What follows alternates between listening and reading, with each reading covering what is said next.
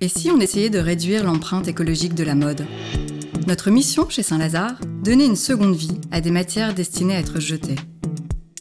Nous récupérons des déchets et des chutes de production, tels que des lances à incendie, des chambres de vélo et de camions, des tissus techniques, pour les transformer en accessoires élégants et durables.